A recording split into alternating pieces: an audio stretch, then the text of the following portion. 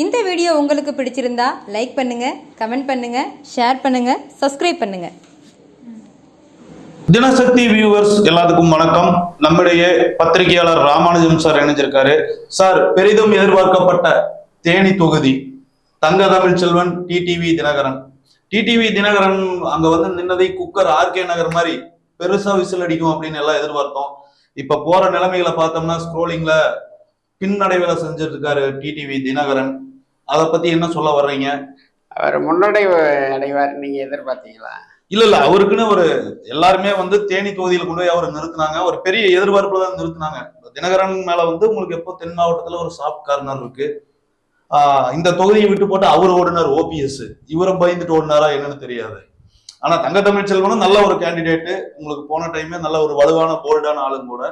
இப்போ அவர் முன்னிலை தொடர்ந்து வகிச்சிட்டு இருக்காரு தங்க தமிழ் செல்வன் தங்க தமிழ் செல்வன் ஓபிஎஸ் எல்லாம் சேர்ந்து தான் டிடிவியுடைய ஆரம்ப காலத்துல ஜெயிக்க வச்சாங்க.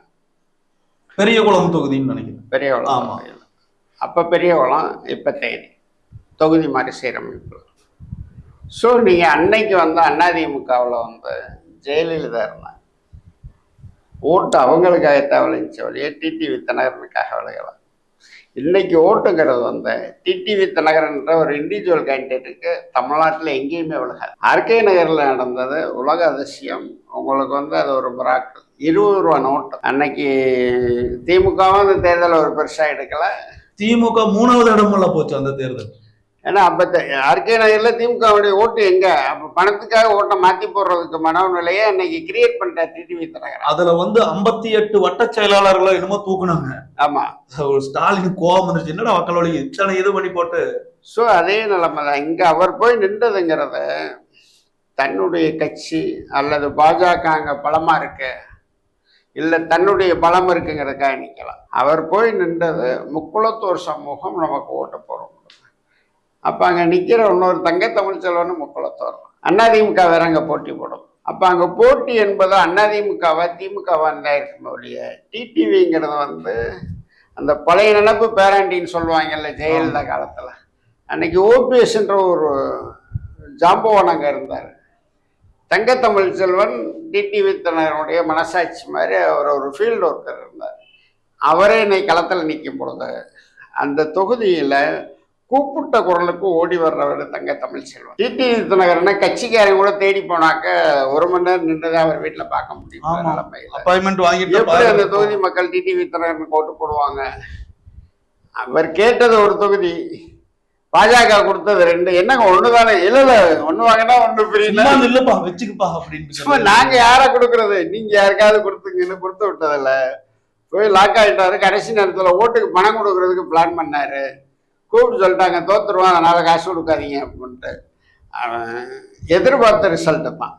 அதாவது பாஜகவுடைய வேட்பாளர்களில் தொண்ணூற்றி ஒம்பது சதம் தோத்துருவாங்க தெரிஞ்ச தேர்தலில் கண்டஸ்ட் பண்ணாங்க. ஏன்னா அவங்களுக்கு வந்து வட மாவட்டங்களில் பாஜக பாமக இருக்கு.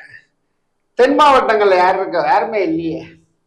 அப்படிங்கும்போது டிடிவிங்கிறது வந்து ஒரு செலிபிரிட்டி ஒரு ஸ்டார் கேண்டிடேட்டு பாஜகவுடைய வாக்கு வங்கியை அதிகரித்து காட்டுறதுக்காக அவரை பாஜக பயன்படுத்தி இருக்கு தேர்தல் முடிஞ்சதுக்கு முன்னாடி டிடிவி பாஜகவோட இருப்பாரா? இல்லை என்ன வரணும்னு பாஜக தானே தூக்கி வர உள்ள வச்சுச்சு?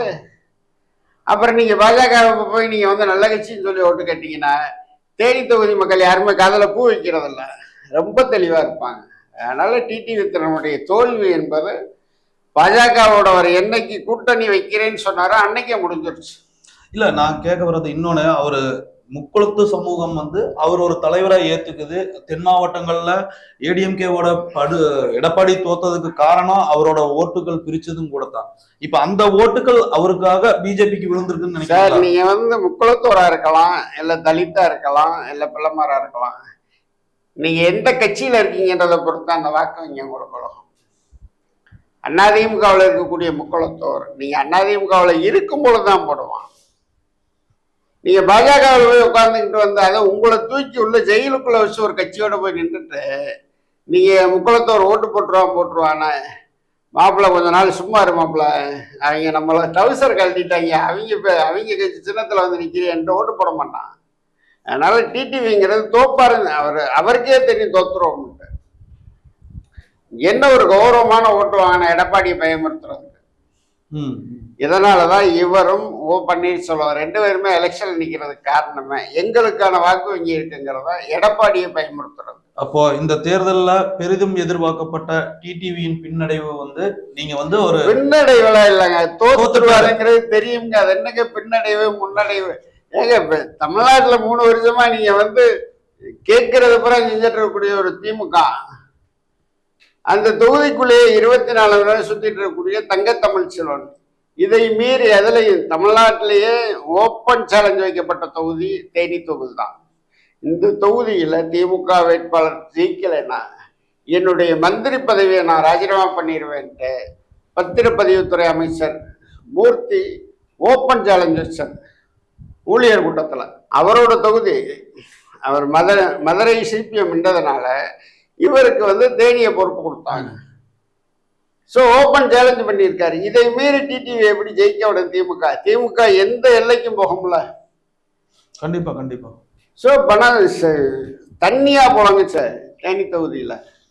அதாவது கட்சி இறைக்குதோ இல்லையோ தங்க தமிழ்ச்செல்வன் தனியாவே இறைப்பாரு. அது ஊருக்கே தெரிஞ்ச விஷயம். இல்லை அவர் இறப்பாரது எனக்கு தெரியல. பட் இருந்தாலும் நாற்பதுக்கு நாற்பது எடுக்கணுங்கிறது திமுக அவங்களுடைய அசைன்மெண்ட் அதில் நீங்கள் வந்து காங்கிரஸ் கொடுத்துட்டு இருந்த தொகுதியை போன தடவை ஈவிக்கு சிலங்கவும் நிற்கலைன்னா வேற யாராவது நின்று தான் அந்த தொகுதியும் ஜெயிச்சிருப்பாங்க. ஆமா ஈரோட்ல இருந்து இவி கேஸ் கொண்டு போய் அங்க ஓட்டு. அவர் பிரச்சாரத்துக்கே போக மாட்டார். ஒன் ஹவர் போவார் பிரச்சாரத்துக்கு. அந்த. தொகுதி மக்கள் வந்து ஒரு முடிவுக்கு வந்தாங்க ஏன்டா கர்மம் முடிச்ச வெளியில இருக்கவனுக்கே ஓட்டு போட்டு நம்ம ஊருக்காரனை ஓட்ட போடுவோம். தங்கத்தமிழ் செல்வன் வந்து நீங்க அந்த தொகுதிக்குள்ள எங்க கல்யாணம் நடந்தாலும் சரி தங்கத்தமிழ் செல்வன் பேர்ல மொழி இருக்கும். ம். ஒண்ணு கல்யாணத்துக்கு போயிடுவாரு இல்ல கவர் போயிடும் ரெண்டு நாள் கழிச்சு போய் வாழ்த்திட்டு வந்துடுவாரு ஆனா இந்த ஒரு நல்ல குணம் யாராருக்கு? இன்னொன்னு அனிதா ராதாகிருஷ்ணன் இருக்காருல்ல. அவருக்கும் இந்த நல்ல குணம் இருக்கு. எங்க எந்த இளவு வீடா இருந்தாலும் முதல்ல போயிருவாரு. எங்க கல்யாண வீடா இருந்தாலும் முதல்ல போயிருவாரு. கிரிக்கெட் ஏதாச்சும் பசங்க விளையாண்டா அங்க போய் ஒரு ஐயாயிரம் ரூபாய் கொடுத்துட்டு வந்துருவாரு. இல்ல அதே மாதிரி தான் இவர் நீங்க சொல்ற தங்க தமிழ் செல்வனும். அதாவது சொந்த மண்ணுக்காரனுக்கு தான் முதல் மரியாதை. நீங்க ஒரு ஸ்டார் கேண்டிடேட் நின்றாக்கா நீங்க ஒன்றும் இல்லை ஜெயலலிதா நின்றப்போ ஆண்டிபட்டியில ஜெயிச்சாங்க. எம்ஜிஆர் நின்றப்போ ஜெயிச்சாரு. இதுவே வி என் ஜானகி நிற்கும் போது ஜெயிக்க முடியல ஆமா. அந்த செலிபிரிட்டி இமேஜ் ஸ்டார் கேண்டிடேட் தான். அந்த ஸ்டார் கேண்டிடேட் அளவுக்கான தகுதியும் திறமையும் டிடிவிட்ட இல்லை. ஏன்னா நீங்கள் காடாறு மாதம் நாடாறு மாதம் மாதிரி இப்போ எலெக்ஷன் முடிஞ்சு காணா போயிடுவார் திருப்பி எலெக்ஷன் வரும்பொழுது வருவார். மக்கள் எப்படி உங்களை நம்புவான் கண்டிப்பா கண்டிப்பா. ஆனால் தங்க தமிழ் சொல்ல நீங்கள் இருபத்தி நாலு மணி நேரம் பார்க்கலாமே. ஏ பங்காளி என்ன வைக்காது ஊரில் தண்ணியை காணா வா அப்படின்ட்டு சவுண்டை கொடுக்க முடியுமே? கண்டிப்பா கண்டிப்பா. டிடிவிட்ட பேர் சொல்லி கூட பேச முடியாது. ஐயா பக்கமே போக முடியாது நம்ம. பண்ணையார் மாதிரி. உங்க கருத்தை பகிர்ந்து கொண்டதுக்கு ரொம்ப நன்றி.